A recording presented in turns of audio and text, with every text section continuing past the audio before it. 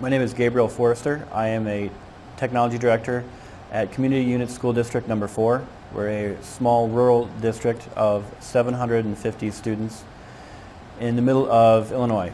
We have a one-to-one laptop program with our high school students right now and we're going to be expanding into the middle school and we're looking into expanding even farther than that into the elementary schools. But the uh, laptop program that we have right now is in all curriculum. We have right now in the high school 300 laptops and we plan to double that by going into the middle school this next year. And these laptops are taken home every day by the student and so the information that they have available to them is 24 hours a day. Anytime that they feel that they have time to work on their homework or work with their materials, they can do that. Our current filtering solution was at an end. The subscription had expired. And we were just starting the process of, well, developing this new one-to-one project. And so it was a great time for us to decide what was the next step.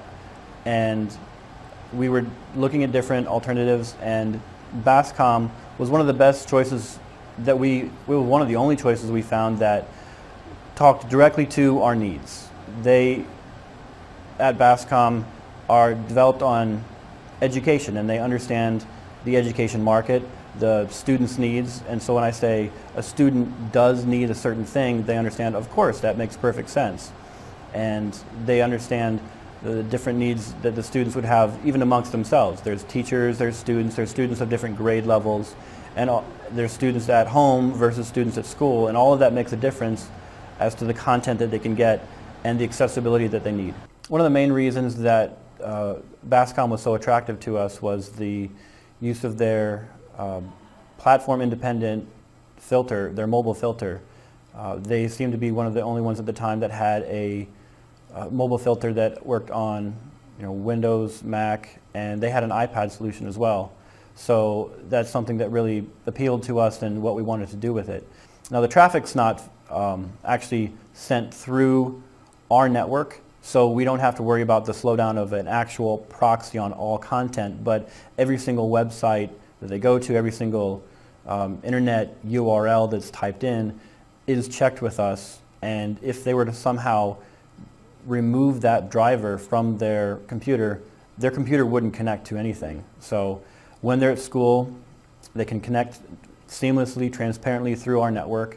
And then when they're at home, all the information that they're trying to get access to is still filtered through our filter without any sort of interruption. They can leave the machine completely on. They don't have to reboot. They just take the machine, put it to sleep, take it home, open it back up, and it's filtered now differently, but the exact same way. Bascom's focus on the education market really helps us to, uh, to work together on the kind of filtering and the kind of uh, features that our students need as opposed to just a generic user that might be in a, in a generic work environment. So they have things like uh, content filtering based on you know, certain age group restrictions, such as like, you know, uh, filtering for YouTube videos. And that's something that in a generic environment would not need. They would either completely block it or completely allow it. But not necessarily have a feature for allowing good content, allowing good educational content, and blocking all the extra stuff that just gets in the way.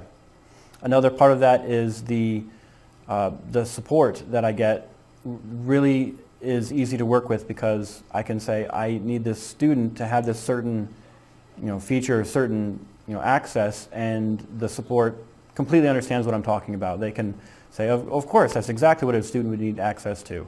And there's never any sort of trying to talk to the support technician to get them to understand where I'm coming from because they already know. I'm completely satisfied with the Bascom product that, that I've been working with.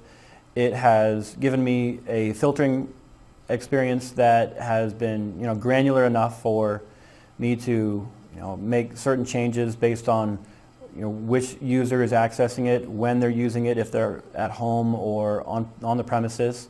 I can make changes to the level of access that they have within a minute. I mean, it's super fast to make those changes and to make them for just the right users, not everybody.